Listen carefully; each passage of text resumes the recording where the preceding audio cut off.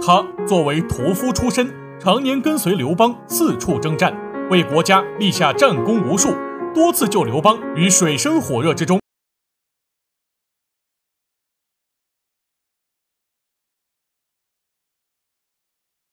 樊哙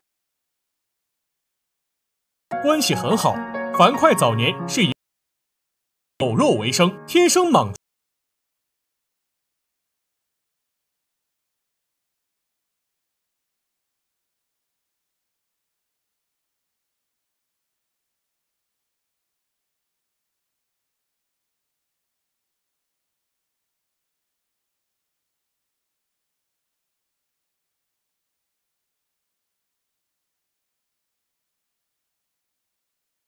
一打听才知道，连忙掉头准备去找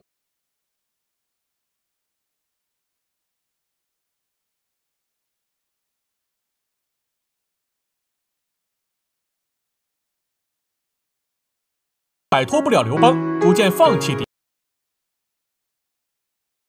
妹妹介绍给了樊哙，这样一来，用狗肉换来媳妇也值了。公元二零九年。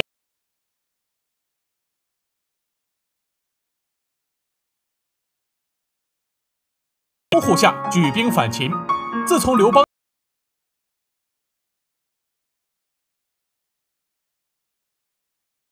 攻上城楼，后来刘邦成为一方诸侯，樊哙也是尽心尽力的辅佐他，在鸿门更是尽全力的保护刘邦。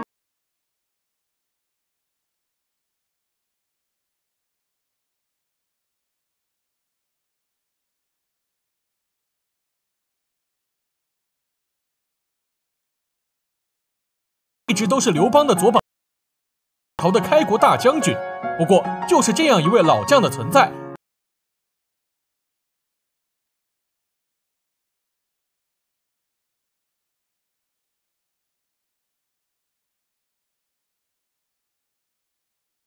大汉立下赫赫战功，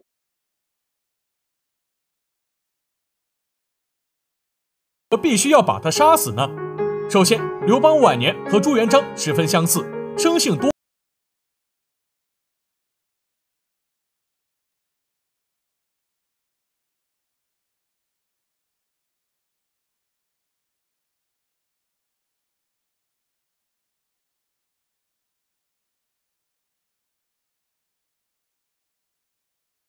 吕须又是刘邦老婆的亲妹妹，所以樊哙属于吕后。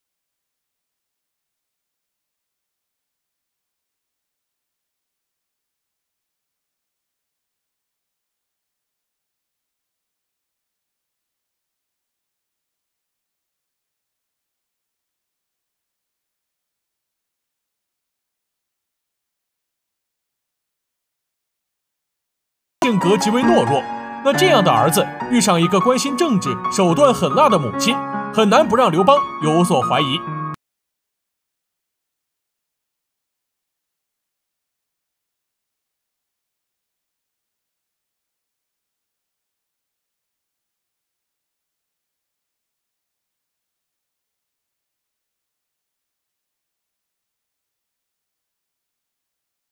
你家下手。又认为樊哙比自己还要有本事，况且手下信服他的将领众多。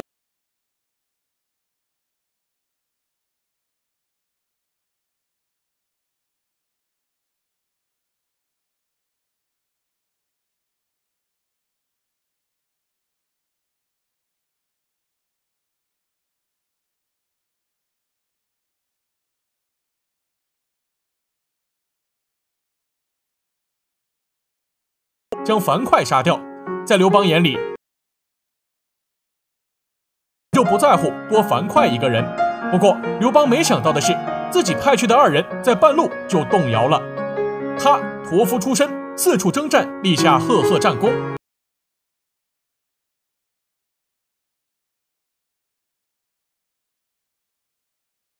樊哙，陈平杀樊哙。而周勃又非常听话，就派了这二人，一个唱。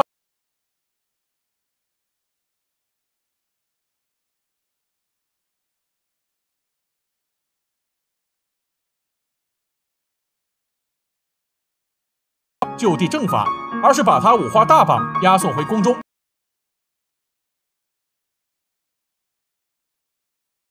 刘邦忽然驾崩的消息就传来，边擦着冷汗，一溜烟的跑回长安，向吕后邀功去。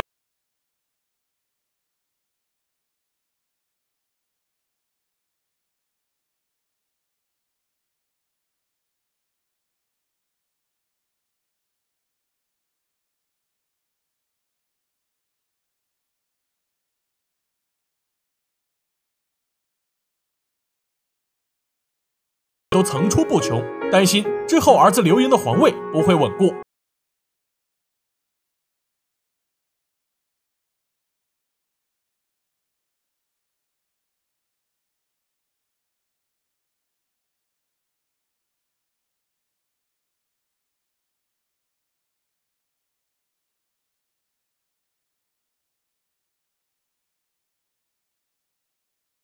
上逃过了一劫。在刘邦去世六年之后，樊哙因病去世，被封为武侯。在他去世九年之后，吕后一族被诛杀殆尽。可能连刘邦也没想到，自己在下面等樊哙，这一等就是六年。不得不说，樊哙是大汉开国大将中最幸运的一位。